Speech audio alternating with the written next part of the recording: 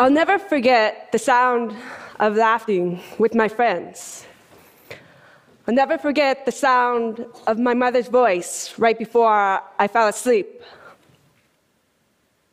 And I'll never forget the comforting sound of water trickling down a stream. Imagine my fear, pure fear, when at the age of 10, I was told I was going to lose my hearing. And over the next five years, it progressed until I was classified as profoundly deaf. But I believe that losing my hearing was one of the greatest gifts that I've ever received. You see, I get to experience the world in a unique way.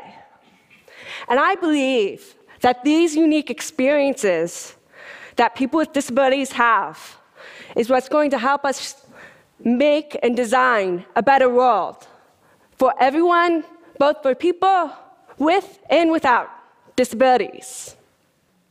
Now, I used to be a disability rights lawyer, and I spent a lot of my time focused on enforcing the law, ensuring that accommodations were made. And then I had to quickly learn international policy because I was asked to work on the UN Convention that protects people with disabilities. As the leader of the NGO there, I spent most of my energy trying to convince people about the capabilities of people with disabilities. But somewhere along the way, and after many career transitions that my parents weren't so happy about, I stumbled upon a solution that I believe may be an even more powerful tool to solve some of the world's greatest problems, disability or not. And that tool is called design thinking. Design thinking is a process for innovation and problem solving. There are five steps.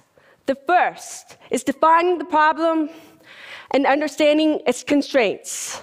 The second is observing people in real life situations and empathizing with them. Third, throwing out hundreds of ideas. The more the better, the wilder the better. Fourth, prototyping, gathering whatever you can, whatever you can find to mimic your solution, to test it, and to refine it. And finally, implementation, ensuring that the solution you came up with is sustainable. Warren Berger says that design thinking teaches us to look sideways, to reframe, to refine, to experiment, and probably most importantly, ask those stupid questions. Design thinkers believe that everyone is creative. They believe in bringing people from multiple disciplines together because they want to share multiple perspectives and bring them together and ultimately merge them to form something new. Design thinking is such a successful and versatile tool that has been applied in almost every industry. I saw the potential that it had for the issues that I faced, so I decided to go back to school and get my master's in social design. This looks at how to use design to create positive change in the world. While I was there, I fell in love with woodworking.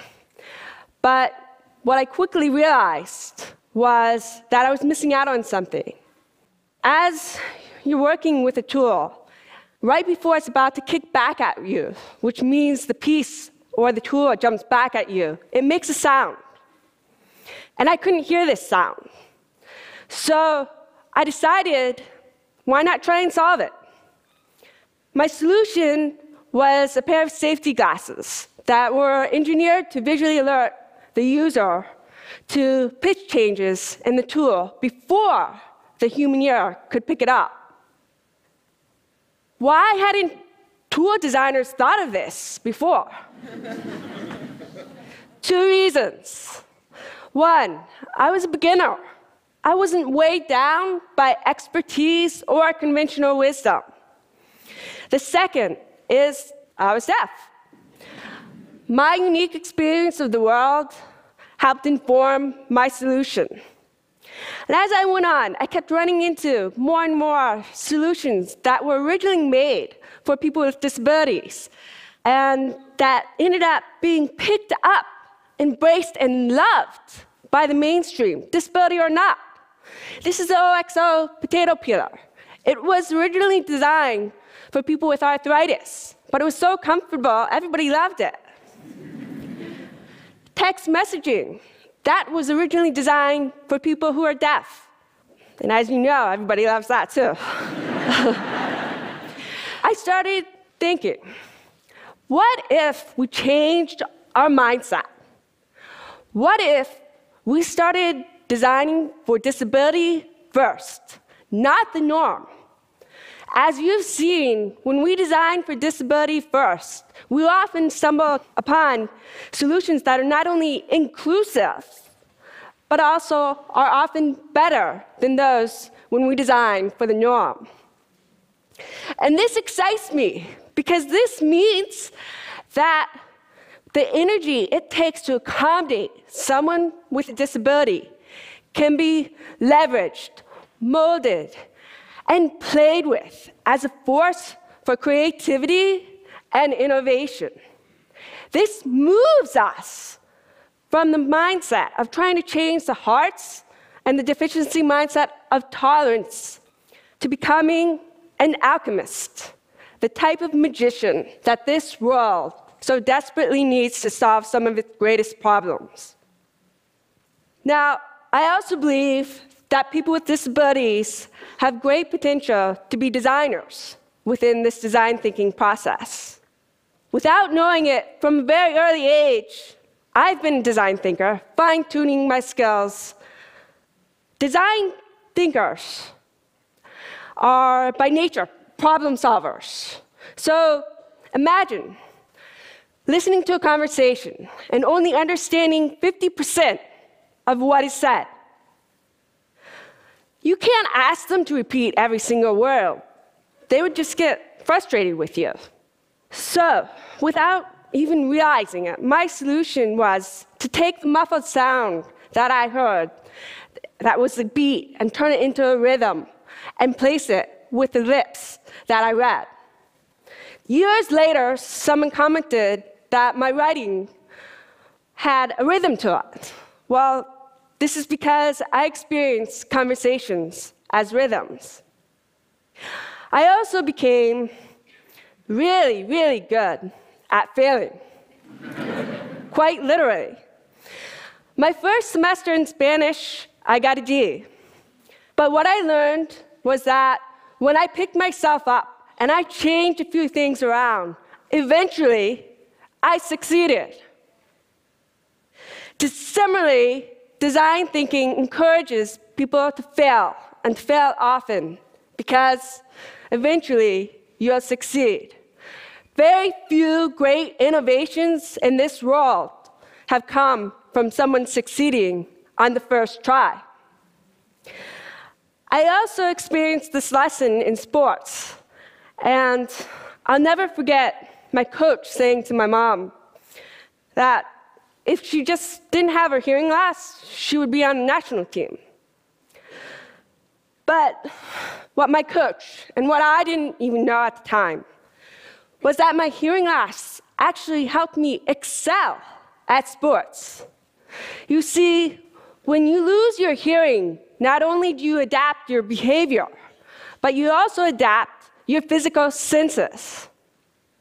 One example of this is that my visual attention span increased.